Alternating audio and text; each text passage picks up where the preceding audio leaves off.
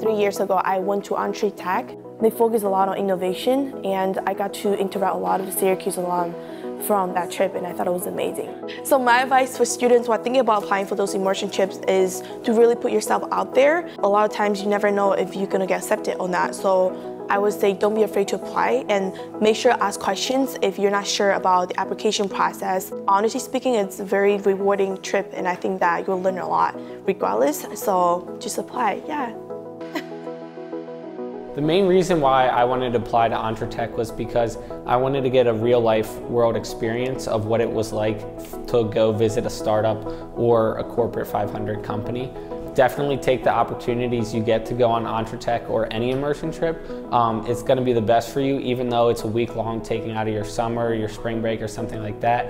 It's definitely worth it. Um, I would recommend it 100% and it's super fun. It's not it doesn't feel like class or anything, it feels like you're just on another vacation.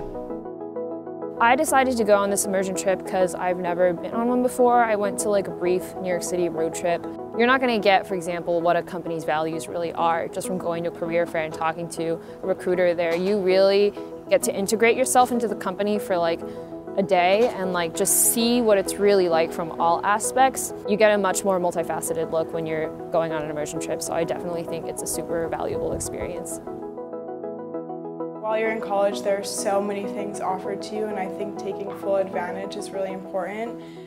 A trip like EntreTech really can change the direction of your career, and I know personally for me, I figured out what I wanted to do as a career just from going on this trip. So take the risk and apply.